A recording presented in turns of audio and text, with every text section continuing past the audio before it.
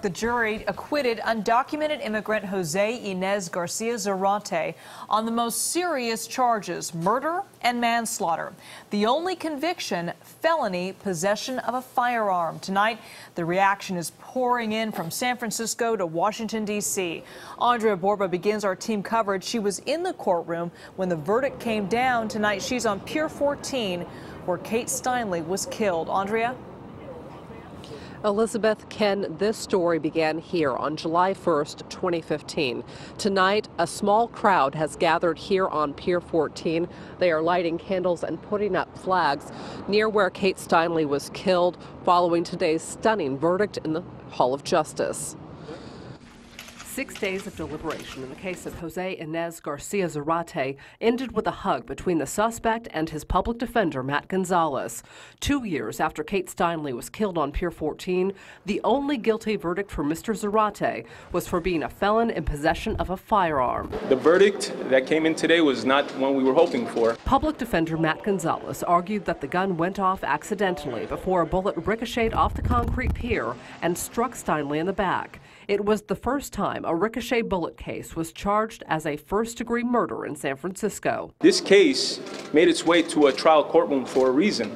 It made its way through a trial courtroom because at every stage, there was sufficient evidence necessary to go to court and go to trial. The gun used to kill Steinle was the secondary weapon of an employee of the Bureau of Land Management. It was stolen from his car in San Francisco, where it was not properly secured. Zarate said he found the gun wrapped in a t-shirt under a bench and admitted he was responsible for Steinle's death. Outside the courtroom, the jurors didn't speak to the throngs of reporters covering the case, which sparked a national debate over sanctuary cities and immigration.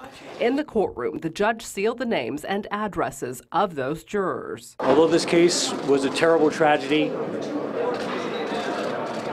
our greatest fear is that Mr. Garcia Zarate would not be able to get a fair trial. The decision to try the case in San Francisco fell to Matt Gonzalez, who took a shot at President Trump, who had used Steinle's death to argue in favor of tightening immigration policy. They may themselves soon avail themselves of the presumption of innocence and the beyond a reasonable doubt standard. And so I would ask them to reflect on that before they comment or disparage the result in this case.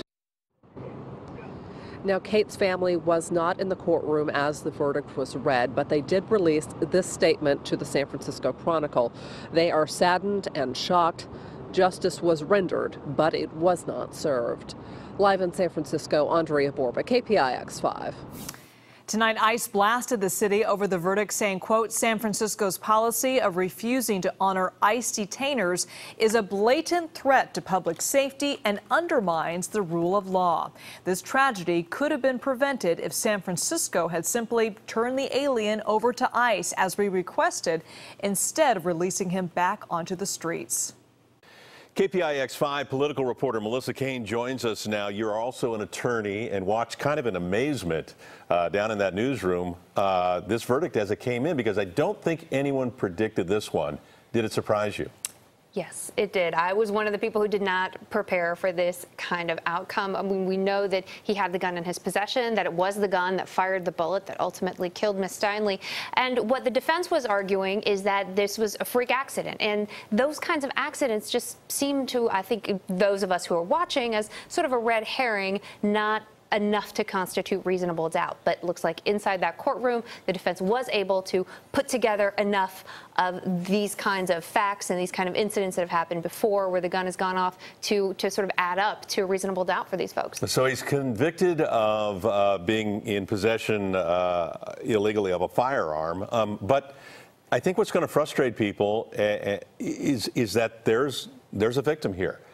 Uh, somebody died as a result of this. Um, I don't know if you want to call it negligence. I don't know if you call it an accident, but there's a person dead, and there's nobody really being brought to bear to answer to that crime. Well, yeah, one of the things that the defense argued was, you know, none of this is going to bring Miss Steinle back. You know, finding him guilty or making sure he goes to jail for a long period of time is not the thing that's going to bring her back. And and we do have this really frustrating issue of no real motive in this case. I think the prosecution really wrestled with trying to figure out how do you explain the why, which is a very human thing that I think the jurors wanted to know and that, you know, we generally would like to know. But when you have someone who's never seen this person before, it seems just totally random, it's, um, it's hard to explain, you know, sort of any kind of ill intent on the part of the shooter. I think I, in defense of the jury, uh, not only the why, but also the how. I think that was up for debate. Did it go off by itself? There's no safety on this Sig Sauer weapon. Uh,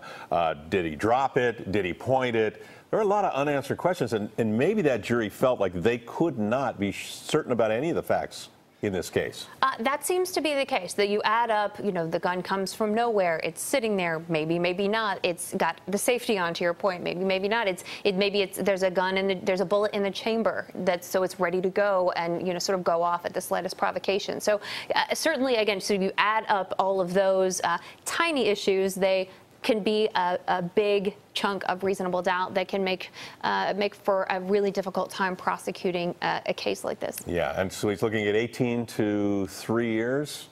And he's already served a butt. Yeah, he's already served over two years, so it's possible he'll get time served and a little probation. We'll know more about that at the sentencing phase, but I want to be very clear, he is not walking out of that courtroom a free man at any point. The federal government has a warrant for him. That's a, it's not the same thing as those things that we ignore from ICE, the, the, the requests that we ignore.